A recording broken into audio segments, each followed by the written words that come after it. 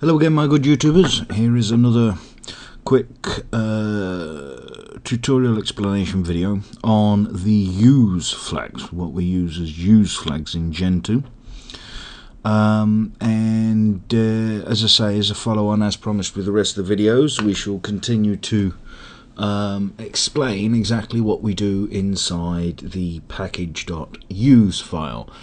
Um, as you can see there's a lot of uh, what looks like a lot in here but in fact there's actually not because if you actually look most of it is all um, commented out comments here which were actually put in by the emerge auto unmask uh, parameter of uh, emerge which allows for a lot of these elements to be entered here automatically depending on what emerge is actually asking you to do.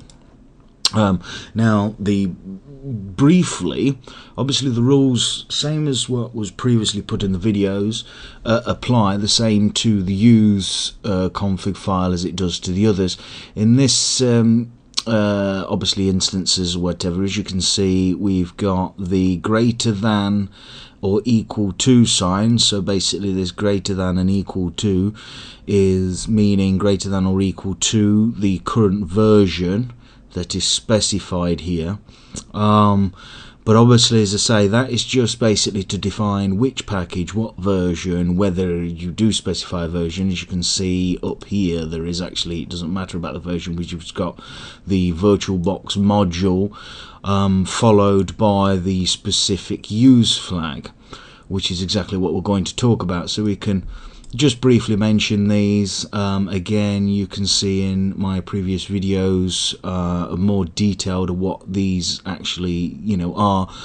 But just for the sake of completeness uh, obviously the forward arrows pointing to the right generally mean the version to be greater than uh, the equal is obviously equal to the version that is specified and obviously if there is an arrow pointing to the left then that obviously means that it would be versions less than the specified version that um, is typed in here afterwards. Um, onto the crux of this file, we are talking about use flags. Now, very much like with the make.conf file, uh, we use these use flags to tell individual packages what elements can be enabled or disabled. Um, what we mean by enabled and disabled in Gentoo, we actually mean compiled with or compiled without. So the program will either be built with uh, support for the option or will not be built with support of the option. Um, as you can see in here, for instance, the first one which has no version, we are building the VirtualBox modules specifically without. Because of the minus sign, this means that without. If there was no minus sign, it means to be built with. Um, but we are building it without PAX kernel support. Um, obviously, VirtualBox um, could be built with PAX kernel support, um, but in my case, uh, I am not building it with PAX kernel support.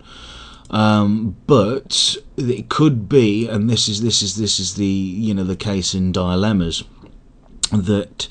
Um, if we look down, uh, there could be certain instances. Uh, see if we can find one in here that uh, you know particularly shows uh, shows a good example of this. But the uh, see here static libs. See this is this is actually enabling static libs. Um, oddly, in uh, the global configuration across the entire of the packages that on I normally set in the make.conf, static libs is uh, not something I enable by default.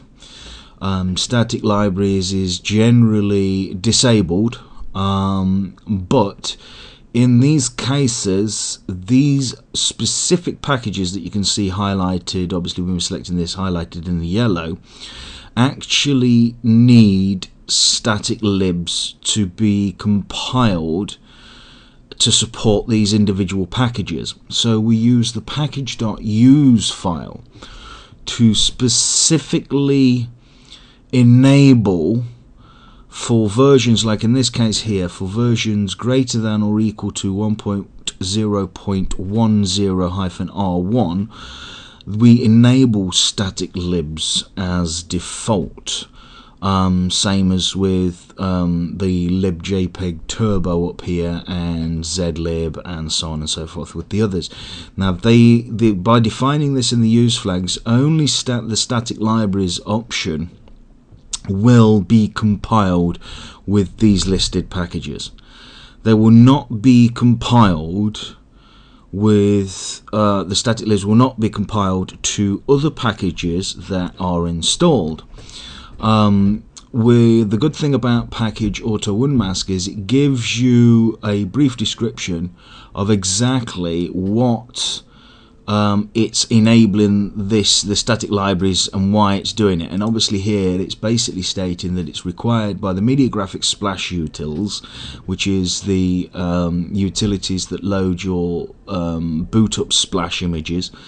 Um, and it's as I say, it's required uh, particular by those to enable static libs into these modules so that media graphics splash utils can work because it relies on these.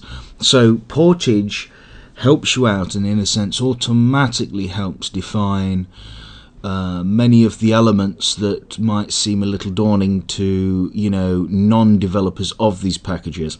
Um, even the most experienced Gentoo users you know, don't know every single package and every single um, you know piece of software uh, you know on the system. As I say, I mean on my system there's there's there's, there's nearly 2,000 or over 2,000 actual packages, libraries, shared libraries, headers, um, etc. So you know knowing each one of those 2,000 uh, as a single individual, a single person, is quite a lot to ask for. So um, developers who who are working, let's say for instance, on the, the PNG libraries, will know which is needed to which. And obviously, the developers of Splash Utils understand how they've programmed Splash Utils to work and how they need it to use the libpng. So therefore, they can particularly specify the static libs in that sense to to to define that, so it makes your life easier.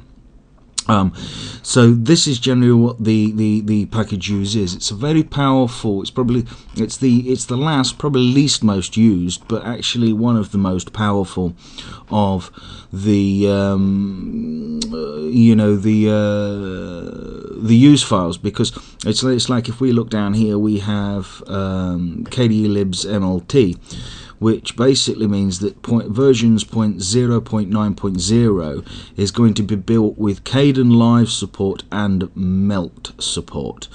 Um, because obviously, as I say, we I use Kdenlive on here, um, and uh, you know I want this to be built with it, but I don't necessarily want um, support to be built globally. For instance, again, this was added by the Auto Unmask, so it generally assumes because it's, it's, it's an automatic. It generally assumes that putting them as individual cases in here is actually better than modifying the make.conf file for setting them globally because if you set them globally it may be not what you want. You might not want it to be globally set. You might just want it just to get one application working uh, and one application, you know, supported.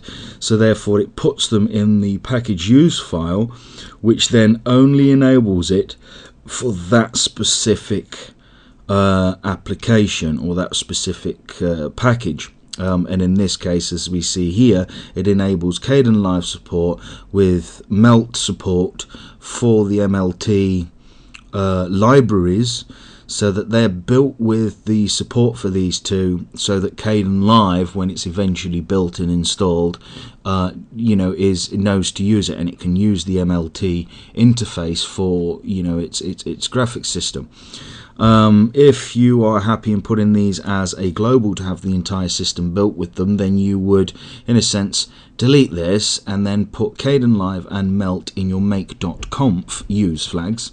And then everything that you build on the system will include support for Kdenlive and Melt. That's basically what it is. So the package use is a way of extracting even further more control and more definition um, uh, from the uh, make.config file and the packages that you install on the system. Um, so that's basically all the package use is. It's there's really not much else to it. It is actually quite that simple. Um, and to understand quite uh, how to do it, you you basically need to just get stuck in and understand how the use flags work. We will discuss more about how the use flags and everything else come up in uh, a next video which I'm going to do on the emerge program. And we're going to be actually covering in the terminal screen how emerge behaves its options uh, the parameters you can put in there the difference between emerging system and world including individual packages and understanding how the uh, use flags are shown and what the abbreviations are for each module. Um, obviously that uh, crosses into that video you see so we won't go too you know too far into that quite in this video this is obviously just to cover the package use um, file configuration file and then we can move on to actually doing the actual emerge program and protocols um, for doing your system.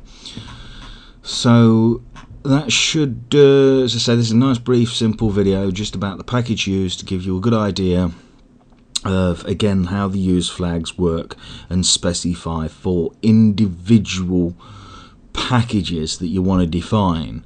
Um, obviously, as I say, it's like you know, uh, here's here's a use flag that is is not you know, um, globally set for me, which is the Ruby targets, Ruby 20. I mean, personally, I don't use uh, Ruby, which is a programming language um, or scripting language. I don't use Ruby, um, but it's required by um, certain elements of programs that other people have programmed that um, obviously require Ruby so therefore Ruby has to be installed and therefore that is that basically what this is this is stating here. And again as you can see with the arrows it means greater than or equal to the version 2.0.3 will be built with support ruby underscore targets underscore ruby 20 or 20 um, that's basically uh, the simplest way of understanding the package use configuration.